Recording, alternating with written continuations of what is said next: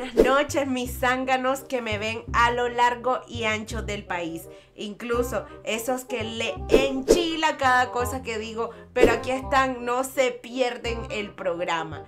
Les recomiendo que se traigan un vasito con agua y si es agua florida, mejor, porque hoy vamos a analizar el discurso del tape chancho de Daniel Ortega. Yo soy Nidia Monterrey y esto es ¡Qué sanganada!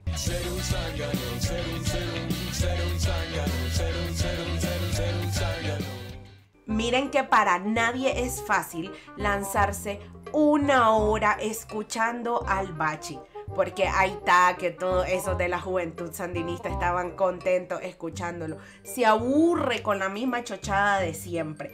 Y uno que lo ve en video, ni en por dos se escucha más rápido el desgraciado. Pero bueno, así es que valoren este sacrificio mío. bueno, dice el maje que la historia no se debe olvidar. Por eso nos vuelve a mencionar que... Y que...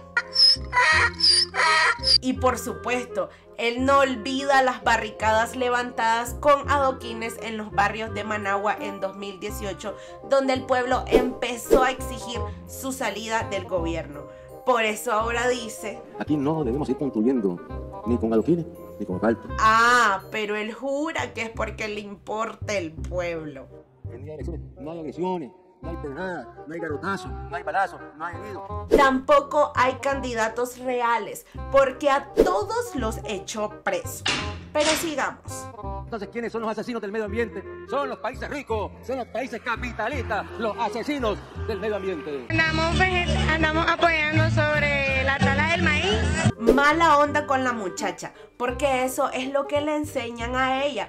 Pero es una reflexión para todos cómo la juventud está siendo adoctrinada y hablan igual de mal que sus líderes. Y la sanganada mayor, ahí sale el carebarro de Ortega hablando de narcoestados. A los habitantes de esos países ricos les encanta la marihuana, les encanta la coca, la droga, les encanta, se vuelven locos por ella. Sí, sí, nos queda claro que les gusta la coca. Ya para terminar, porque mucha nuestra sanganada y la bajadera, les dejo tres razones por las que Daniel Ortega es un vampiro y no un gallo. Uno, es un chupasangre. Dos, nunca sale de día. Y tres, no se ve en el espejo. Ese es Daniel. Daniel Ortega. El que asesina gente con tal de ser presidente y es todo un dictador. Cuidadito me salen con la sanganada de no reaccionar, compartir ni comentar más les vale. Nos vemos la próxima semana con su zángana favorita.